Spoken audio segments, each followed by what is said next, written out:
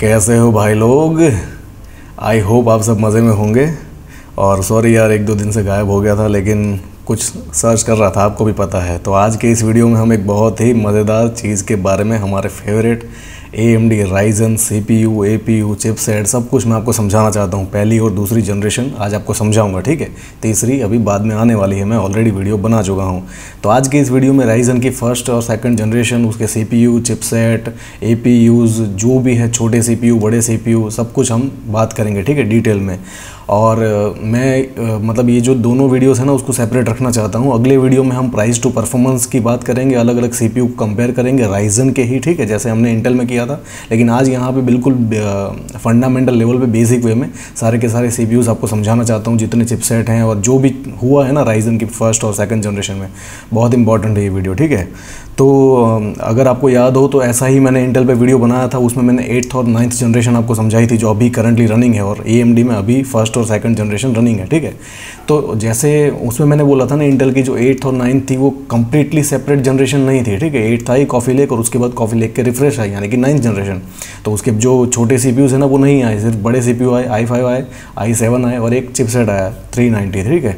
तो ऐसे ही राइजन की पहली और दूसरी जनरेशन ना बिल्कुल सेपरेट जनरेशन नहीं है। पहली जनरेशन आई और उसके बाद दूसरी जनरेशन 12 नैनोमीटर पे उन लोगों ने लॉन्च की। पहली की थी 14 नैनोमीटर पे, ठीक है? तो बिल्कुल सेपरेट नहीं है। अगर आप इस दूसरी जनरेशन में भी ध्यान दो तो जो छोटे सी है ना, यानी कि राइजन थ्री और वो सब लॉन्च नहीं हुए हैं। सिर्फ़ राइजन फाइव और राइजन सेवन चार सी टोटल लॉन्च हुए हैं, छब्बीस और सत्ताईस ठीक है? नॉन एक्स और एक्स वाले और चिपसेट लॉन्च हुए हैं। तो ये आपको पता होना चाहिए मतलब बहुत सारे लोगों को ये चीज़ें ना नहीं पता होती है, ठीक है? जैसे आप देख सकते हो राइजन और राइजन याद आया कुछ? ये नाम थोड़े से जैन आर्किटेक्चर ये सब कुछ ना एक जैसा है। और अगर आपको ये चीज़ बहुत सारे लोगों को पहले, वैसे नहीं पता होगी, लेकिन ये लोग राइजन का नाम पहले हॉराइजन ही रखने वाले थे, ठीक है? मैं कुछ दिखाता हूँ। ये देख लो A M D next horizon ये लोगों ने कुछ इवेंट भी किया था। मतलब जब राइजन का सिर्फ़ जैन आर्किटेक्चर का अनाउंसमेंट किया था ना, तब उसका नाम ओरिजिनली हॉराइजन रखने वाले थे और ऐसे न्यूज़ आए थे, ठीक है? तो ये मैंने कुछ बनाया है आपको समझाने के लिए, ध्यान से समझने की कोशिश करना। A M D Ryzen first generation Zen architecture ठीक है? आर्किटेक्चर का नाम है जैन और 14 नैनोमीटर का पूरा प्रोसेस उसमें यूज़ किया गया है, ठीक है? और वो ये उसके चिपसेट हैं। अब दूसरी जो जनरेशन आई ना, उसको जैन प्लस कहा है उन लोगों ने। जैन टू नहीं जैन टू है वो तीसरी, ठीक है? तो कन्फ्यूज़ मत होना। तीसरी जब आएगी ना तो उसको जैन टू बोला। ये जैन प्लस है मतलब पहली पे ही बेस्ड है। अगर आप ध्यान दो तो फोर्टीन से ट्वेल्व नैनोमीटर पर आ गए। तो दूसरी जनरेशन को जैन प्लस बोला। और उसके जो पहली जनरेशन के जो चिपसेट है ना, यानी कि एक्स थ्री मेन चिपसेट उसके बाद ये छोटा chipset budget chipset B three fifty ठीक है? तो मतलब तीन से जिसका आंकड़ा शुरू होता है, वो राइजन की फ़र्स्ट जनरेशन का चिपसेट है। अब इसको ये जो 370 है, उसको आप कॉफ़ी लेक का जो जी थ्री है ना मेन चिपसेट उसके साथ कंफ्यूज मत करना, ठीक है? दोनों दोनों के दोनों अलग अलग है। एक्स थ्री है, वो जी थ्री है, ठीक है? उसके बाद दूसरी जनरेशन में उन लोगों ने जो चिपसेट के नाम है फोर से रखे हैं। अब ये लोग ना मतलब ए ने एक बहुत अच्छी चीज़ की है। चिपसेट के मामले में जो प्रोसेसर की कैटेगरी है, वो फिर सी का जो नेमिंग मॉडल नंबर है, उसमें डिट्टो डिट्टो उन लोगों ने क्या किया? राइजन को सॉरी इंटेल को कॉपी किया है। तो यहाँ पे कन्फ्यूज़न थोड़ा सा कम हो गया। पहले के टाइम में बहुत सारा कन्फ्यूज़न था, ठीक है? तो ये जो 300 सीरीज़ के चिपसेट है तो समझ लो कि राइजन के फ़र्स्ट जनरेशन के चिपसेट हैं 400 के हैं तो सेकंड जनरेशन के, और ऐसे ही तीसरी आएगी तो 500 सीरीज़ के चिपसेट आएँगे। वीडियो अगर नहीं देखा है ना 300 सीरीज़ का मतलब 3000 सीरीज़ के चिपसेट का मैंने अनाउंसमेंट किया था सीपीयू राइजन की थर्ड जनरेशन देख लेना, ठीक है? बहुत सारी चीज़ समझ में आएगी। तो ये पहली जनरेशन दूसरी जनरेशन और तीसरी जनरेशन जो कि अभी आने वाली है। तो आज की इस वीडियो में हम इन दोनों के बारे में बात करेंगे, ये चिपसेट ये सब कुछ, ठीक है? तो ये देख लो राइजन उन्होंने फरवरी 2017 में अनाउंस किया था। अब ये विकीपीडिया का पेज अगर आप स्टडी करोगे ना तो यहाँ पे थोड़ा सा कन्फ्यूज़न हो सकता है। तो उन लोगों ने क्या किया था? मतलब राइजन की पहली जनरेशन अनाउंस हुई ना, उसके एक महीने बाद इस पेज को अपडेट किया था और ऐसा अनाउंसमेंट किया था विकीपीडिया पर कि दूसरी जनरेशन आएँगी ना तो ये सारे सी आएँगे। लेकिन अगर आप ध्यान दो तो राइजन के जो दूसरी जनरेशन के सी है ना, यहाँ पे तो ये बहुत कुछ दिखा रहा है। जैसे देख सकते हो आप Ryzen three twenty twenty three hundred X या ट्वेंटी फाइव हंड्रेड एक्स ठीक है? तो ये सारे सी ना आए नहीं हैं। जिन सी के सामने रिलीज़ डेट और प्राइस लिखी है ना, वही सी लॉन्च हुए हैं। ये सारे नहीं हुए हैं, ठीक है? दूसरी जनरेशन में। और इसीलिए मैंने ये सोचा कि इस पर वीडियो बना कि ये सारी चीज़ आपको समझानी पड़ेगी। बहुत सारे लोगों को नहीं पता है। दूसरी जनरेशन में सिर्फ़ और सिर्फ़ चार ही सी आउट हुए हैं। ये छब्बीस सौ छब्बीस सौ एक्स और ये सत्ताईस सौ और सत्ताईस सौ एक्स ये प्रो वाले सी भी कहाँ है ना? किसी को नहीं पता। मतलब कंज्यूमर लेवल पे लॉन्च नहीं किए हैं, ठीक है? नहीं मिलते हैं मतलब हम नॉर्मल जो रेगुलर मार्केट की मैं बात करूँ तो पहली जनरेशन के सारे के सारे सीपीयू मिलते हैं, बारह सौ, तेरह सौ, चौदह सौ, पंद्रह सौ अट्ठारह सौ तक, ठीक है? और थर्ड रिपर थर्ड रिपर को हम अगले वीडियो में डिटेल में डिस्कस करेंगे। यहाँ पे सिर्फ़ जो कंज्यूमर लेवल सी है ना मेन स्ट्रीम कैटेगरी की सी उसकी बात कर रहा हूँ और उसके चिपसेट की बात कर रहा हूँ, ठीक है? तो पहली जनरेशन की ये सारे के सारे जो है ना वन सीरीज़ के मतलब वन सीरीज़ के, ये सारे के सारे लॉन्च हुए थे। उसके बाद टू सीरीज़ के ये वाले लॉन्च हुए थे उसमें से सिर्फ़ चार ही हुए थे, ठीक है?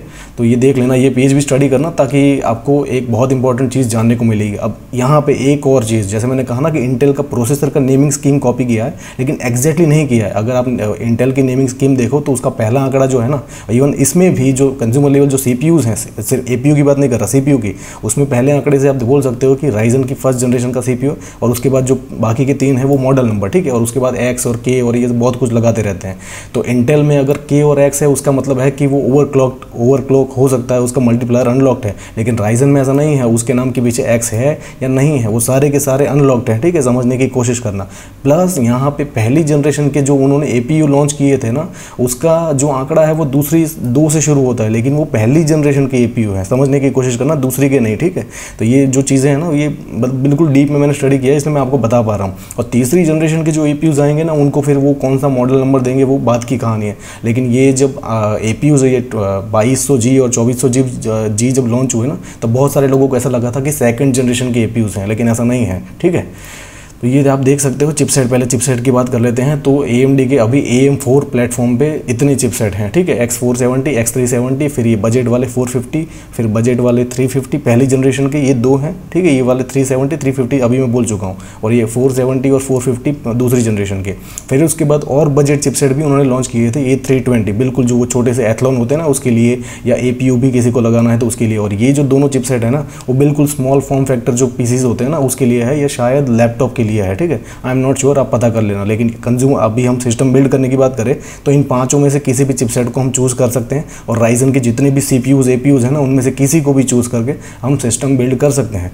एक और बहुत इंपॉर्टेंट जो एम डी की खास बात वो ये है कि जैसे पहली जनरेशन आती है, उसके बाद दूसरी जनरेशन आती है तो वो लोग चिपी चिपसेट और C P U A P U सब कुछ लॉन्च करते हैं। लेकिन जिसके पास ऑलरेडी पहली जनरेशन है, उसको अगर दूसरी पे जाना है तो उसको पूरा मदरबोर्ड चिपसेट नया परचेज करने की ज़रूरत नहीं है, ठीक है? ये बहुत अच्छी चीज़ है ए की। और इसी को देखते हुए इंटेल ने भी ये सेम स्कीम अप्लाई की है, जब उन्होंने नाइन्थ जनरेशन लॉन्च की।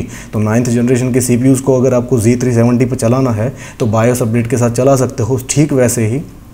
पहली जनरेशन का जो मदरबोर्ड है आपके पास, यानी कि 370 वाला या 350 वाला तो उसके ऊपर आपको ये छब्बीस और सत्ताईस चलाने हैं ना तो आप चला सकते हो, सिर्फ़ आपको बायोस अपडेट करना पड़ेगा। और ऐसे ही थ्रेड रिपर में भी उन्होंने किया था, ठीक है? इवन थ्रेड रिपर में तो जो एक्स उन्होंने लॉन्च नहीं किया, सिर्फ़ एक्स जो कि पहली जनरेशन का चिपसेट है, उसी पर ही वो लोग चला रहे हैं, ठीक है? तो ये बहुत अच्छी चीज़ है मतलब कंज्यूमर के लिए बहुत फ़ायदे वाली चीज़ है। अब बात करते हैं इनके सीपीयू की तो जैसे मैं ऑलरेडी वीडियो बना के आपको बता चुका हूँ कि Ryzen three Ryzen five Ryzen seven Threadripper ठीक है? सब कुछ है, इनके पास पूरी रेंज भरी हुई है सी पी पी एथलोन सब कुछ है। अब यहाँ पे कुछ हम ये उनके चिपसेट है, उनके सारा कंपैरिजन है। अगर आप स्टडी करना चाहो ना, ये सारे के सारे पेज की लिंक दे दूँगा तो आपको स्टडी करना है तो आपको पता चल जाएगा, ठीक है? चिपसेट को भी स्टडी करना बहुत ज़रूरी है। मैं बहुत बार कह चुका हूँ, क्योंकि लोगों को सीपीयू के बारे में सब कुछ पता होता है, लेकिन चिपसेट के बारे में कुछ नहीं पता होता। तो चिपसेट अगर सही से नहीं समझोगे तो पूरे कंप्यूटर को सही से नहीं समझ पाओगे। आपको कितना सपोर्ट मिल रहा है, क्या लेन मिल रही ये जैसे यहाँ पे दिखाया गया है कि कितनी पी एक्सप्रेस लेन है, क्या है? एनवीएमई का सपोर्ट सब कुछ यहाँ पर जानना ज़रूरी है, ठीक है? एस क्रॉस फायर ओवर नहीं हो सकता हो सकता है रेड यहाँ पर सब कुछ बिल्कुल डिटेल में लिखा हुआ होता है, ठीक है? तो ये समझना बहुत ज़रूरी है कि कौन सा मतलब चिपसेट भी कौन सा प्रॉपर सिलेक्ट करें। वरना कई बार क्या होगा, आपने सी तो बहुत अच्छा बहुत अच्छा ले लिया, लेकिन चिपसेट सही सिलेक्ट नहीं किया तो आपका सिस्टम कहीं ना कहीं सही से वर्क नहीं करेगा। ये सारा फीचर्स हैं, जो सी में है, वो चिपसेट की वजह से आप यूज़ नहीं कर पाओगे, ठीक है? ये जानना बहुत ज़रूरी है।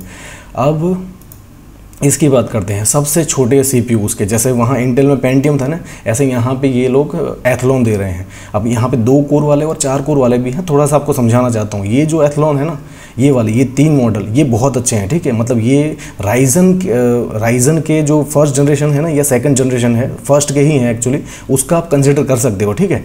लेकिन उसके बाद ये जो तीन मॉडल है तो इन तीनों में से अगर आप कोई सिलेक्ट करोगे ना तो बहुत अच्छी बात है दोस्तों लेकिन ये जो दूसरे हैं ना, नीचे के, मैं आपको रेकमेंड करना चाहूँगा, जैसे ए सीरीज़ के जो ए होते थे ना, उन, उनकी ये सेवन्थ जनरेशन है, वो भी उन्होंने ए एम फोर प्लेटफॉर्म पर ही लॉन्च किए, लेकिन इसको आपको नहीं लेना ठीक है? इसका परफॉर्मेंस भी अच्छा नहीं है और प्राइस भी कुछ ज़्यादा मतलब ज़्यादा है तो उसके प्राइस में तो बारह और जो तेरह सौ है ना, वो भी मिल जाते हैं और एपीयू भी जो बाईस जी है या चौबीस जी है, वो भी मिल जाता है। तो इसको लेने का कोई मतलब नहीं है, मैं आपको बताना चाहता हूँ, ठीक है? हालाँकि उन लोगों ने ये ए जो उनका प्लेटफॉर्म है ना, उसी पर ही लॉन्च किए हैं, तीनों के दिनों। ये पहले आप देख लो, ये हैं ये दो कोर वाला एथलोन है, ठीक है?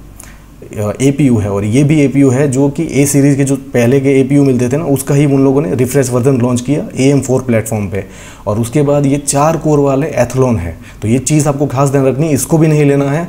ये जो है ना, ये छः के छः इसको भी नहीं लेना है। सिर्फ़ इन तीनों में से अगर आप लेना चाहो ना मतलब जैसे हम पेंटियम में सिलेक्ट करते हैं सेलरोन में सिलेक्ट करते हैं, बिल्कुल छोटे स्मॉल बजट जिसका बजट बिल्कुल टाइट है, पचास साठ डॉलर मतलब इसकी प्राइस मैंने देखी थी। तो यहाँ पर इंडिया में ना, ये पाँच छः हज़ार में मिल जाता है, पाँच हज़ार में मिल जाता है, ठीक है? तो इसके साथ ये बहुत ही सक्सेसफुल चिप है, दो कोर चार थ्रेड वाला और ऑन बोर्ड जी भी मिलता है। तो जिसको बिल्कुल छोटा सा ऐसा सिस्टम बनाना है, बिल्कुल टाइट बजट है, उसके लिए ये सीपीयू बहुत अच्छा है, ठीक है? एथलॉन 200 GE मैं अभी आगे दिखाता हूँ, ठीक है? लेकिन इसको मत लेना। गलती से भी इसमें से किसी एक को ले लिया ना, आपने देख के कि ए एम फोर पर चलता है, ठीक है? तो ये बहुत ही बुरी डील होगी। और इसमें रेडियन ग्राफिक्स मिलता है, वो जो दूसरे ए है ना, उसमें वेगा ग्राफिक्स मिलता है, ठीक है? ये भी खास ध्यान रखने वाली बात है।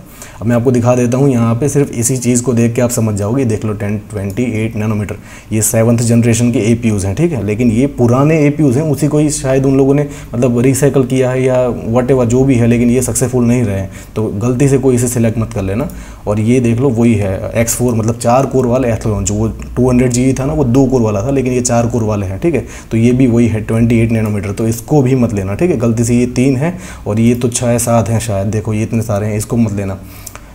आ, उसके बाद बात करते हैं ये उसका आर्किटेक्चर है ये अगले वीडियो में समझाऊँगा ठीक है जैन का। हाँ तो टोटल ना इतने सी हैं मैं पहले आपको बता देता हूँ ये सॉकेट एक मिनट रुक जाओ। ए एम फोर सॉकेट और टोटल दो, टू हंड्रेड जी सब, सबसे छोटे से लेके बारह सौ, फिर बाईस सौ जी से लेके चौदह सौ, पंद्रह सौ, सोलह सौ सत्रह सौ, अठारह सौ, सत्ताईस सौ, छब्बीस सौ, सब कुछ आ गया, ठीक है? इसमें टोटल सी अभी दिखा रहा है, जितने ए एम फोर प्लेटफॉर्म पर अवेलेबल है। अब ये प्रो वाले और ये सब मत देखना, क्योंकि ये हमारे पास अवेलेबल नहीं है, ठीक है? ये देख लो राइजन थ्री टोटल अभी हमारे पास 1200, 1300 एक्स और 2200 जी कि ये एपीयू है ठीक है? ध्यान रखना ये दोनों सीपीयू है ये एपीयू है। इन तीनों में से अगर आपको राइजन थ्री परचेज करना है तो तीन ऑप्शन अभी हमारे पास अवेलेबल है। ऐसे ही राइजन फाइव में हमारे पास 1400, 1500, 1600, 1600 एक्स और 2400 जी और 2400 जी ई ये शायद उस पर है मोबाइल पे शायद या रिलीज़ ही नहीं हुआ है मुझे नहीं पता ठीक है? देख लेना आप अपनी तरफ़ से। ये मोबाइल वाले हाँ ये रिलीज़ नहीं हुआ है ठीक है? ये मोबाइल वाले हैं, ये वाले। ठीक है तो मोबाइल अगर लैपटॉप परचेज़ करोगे ना तो शायद उसमें ये मिलेगा। और उसके बाद राइजन सेवन की बात करते हैं तो राइजन सेवन में हमारे पास है सत्रह सौ सत्रह सौ एक्स अठारह सौ और दूसरी जनरेशन के जो राइजन है, सेवन अभी लॉन्च हुए हैं ना, छब्बीस सौ छब्बीस सौ एक्स सत्ताईस और सत्ताईस सौ एक्स ये वाले। ठीक है, सत्ताईस सौ एक्स ये रहा, छब्बीस सौ छब्बीस सौ एक्स सत्ताईस सौ सत्ताईस सौ एक्स तो ये इतने सी हैं, मैं आपको बता देना चाहता हूँ, ठीक है? एथलॉन दो कोर वाले, उस जैसे पेंडियम थे, उसके बाद राइजन थ्री जैसे आई थ्री था, उसके बाद राइजन फाइव जैसे आई फाइव था, उसके बाद राइजन सेवन जैसे कि आई सेवन था, ठीक है? और उसके बाद है थ्रेड रिपर लेकिन उसकी कहानी मतलब आई नाइन और थ्रेड रिपर अभी मैंने कवर नहीं किया है इंटेल साइड भी तो वो किसी और वीडियो में कवर करेंगे, क्योंकि वो वर्क स्टेशन लेवल के कैटेगरी के सी हैं। यहाँ पर हम कंज्यूमर लेवल के सी की बात कर रहे हैं, ठीक है?